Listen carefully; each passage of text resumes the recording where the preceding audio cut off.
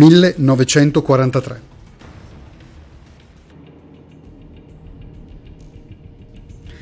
Nel marzo di quell'anno ci furono parecchi scioperi a Torino e Milano. Il 9 luglio gli alleati sbarcarono in Sicilia. Tra il 24 e il 25 luglio Mussolini viene esautorato dal Gran Consiglio del Fascismo e arrestato dal re. Il maresciallo Pietro Badoglio è il nuovo capo del governo. L'8 settembre Badoglio sigla l'armistizio tra l'Italia e gli alleati con la conseguente e subitanea fuga a Brindisi dell'intero governo che lascia allo sbando esercito e soldati. La conseguenza immediata è che questi ultimi verranno internati negli stalag tedeschi. Moriranno a centinaia di stenti e di lavoro. Dai tedeschi infatti gli italiani saranno considerati dei traditori da punire in modo esemplare. Nella beffa sopportata da questi eroi non possiamo fare a meno di dire che molti saranno condannati alla segregazione per il rifiuto di tradire quello stesso re che li ha traditi. In pochi aderiranno alla Repubblica di Salò che sorgerà di lì a poco, condannandosi di conseguenza. Questi eroi sono sempre stati dimenticati nella festa della liberazione, forse perché eroi scomodi.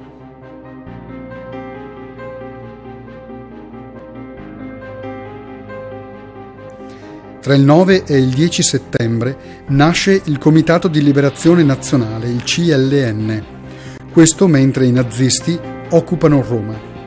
Il 12 settembre Mussolini viene liberato dai tedeschi, da Otto Scorzeni. Il duce si trova recluso nella prigione sul Gran Sasso.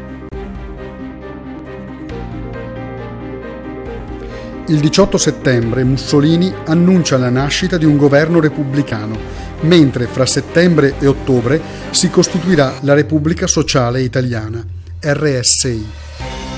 Ritenendo che l'arma, fedele alla monarchia sabauda, fosse loro ostile, i tedeschi il 7 ottobre arrestarono e avviarono alla deportazione circa 1500 carabinieri.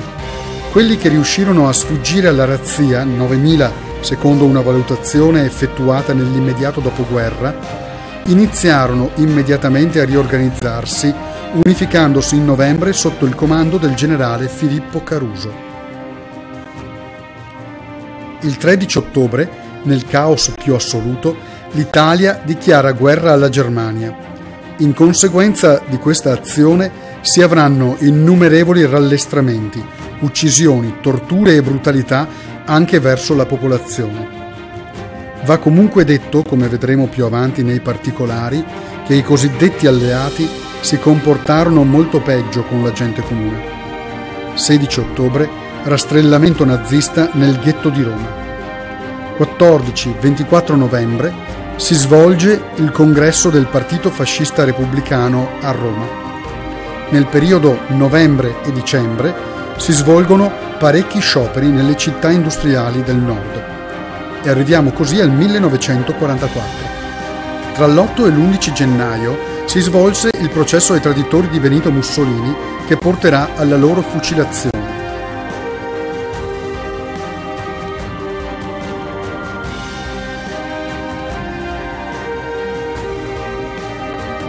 Tra l'1 e l'8 marzo uno sciopero generale sconvolse il lavoro nelle aree occupate dai nazisti il 24 maggio, nell'attentato partigiano di via Rasella, morirono 33 altoatesini inquadrati nell'esercito tedesco. L'azione consistette nella detonazione di un ordigno esplosivo e nel successivo lancio di quattro bombe a mano artigianali sui superstiti. Oltre ai primi caduti nell'attentato, ne decedettero altri nelle settimane successive a causa delle ferite. Tale numero, però, non è mai stato definito con certezza, mentre almeno altri quattro caddero sotto il fuoco di reazione tedesco. A questi eventi seguì una rappresaglia tedesca consumata con l'eccidio delle fosse ardeatine, in cui furono uccisi 335 prigionieri completamente estranei all'azione gappista. Tra i morti della rappresaglia si contano anche 10 civili rastrellati nelle vicinanze di Via Rasella, immediatamente dopo i fatti. Il comandante delle truppe nella capitale, il tenente colonnello Kappler, emana un editto ai partigiani responsabili dell'attentato. Consegnatevi oppure procederemo alla fucilazione dei civili.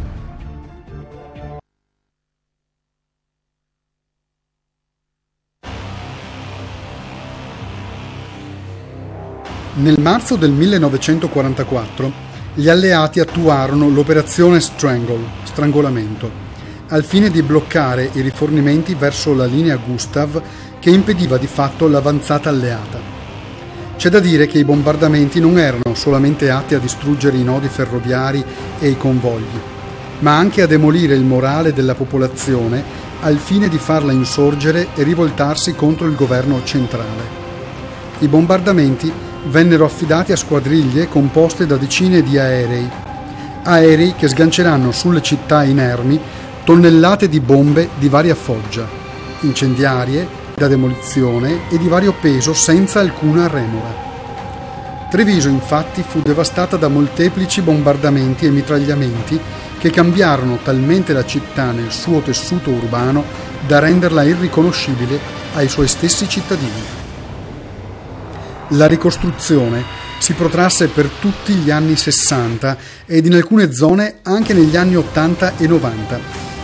La città di Treviso veniva continuamente sorvolata da squadriglie di aerei alleati che si dirigevano in Germania. Quindi un bombardamento non veniva ipotizzato, anche se la paura c'era sempre. Treviso non aveva un'importante ferrovia, non aveva grosse fabbriche di materiale bellico che andavano distrutte come mai allora il bombardamento del 7 aprile del 44? Cosa cambiò quel giorno nella storia della città? Le voci che circolano sono molte, disparate e insensate. Una delle più ipotizzate è quella della confusione dei nomi di due città, Tarvisio con Treviso. Ma gli americani quando si tratta di bombardare non sbagliano mai e se devono colpire lo fanno al meglio. La seconda ipotesi è che all'interno dell'albergo Stella d'Oro si stesse svolgendo una riunione di grossi esponenti nazifascisti. Tutti i testimoni ascoltati, infatti, sono stati concordi nell'affermare la stessa cosa, e cioè che subito dopo il bombardamento venne creato dai tedeschi un cordone di contenimento presso le macerie dell'albergo e che caricarono all'interno degli autocarri una serie di bare che avevano una finestra di vetro all'altezza del viso, al fine di riconoscerne la salma senza aprire la cassa.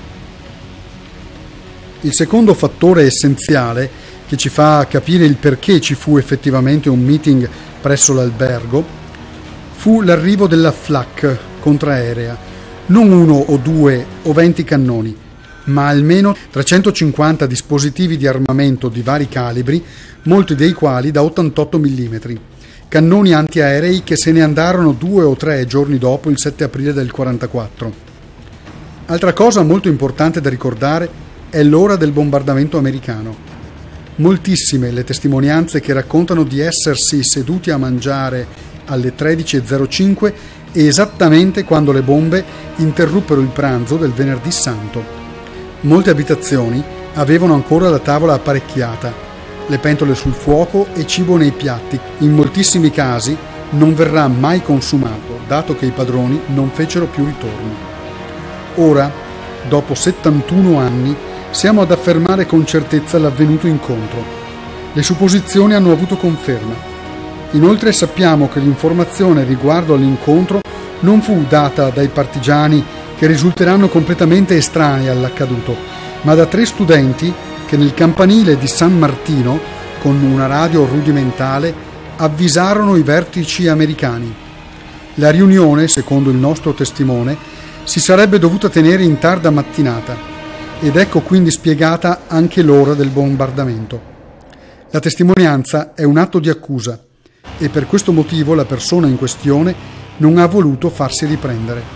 Abbiamo comunque dalla sua vivida voce il riscontro e la verità sul massacro.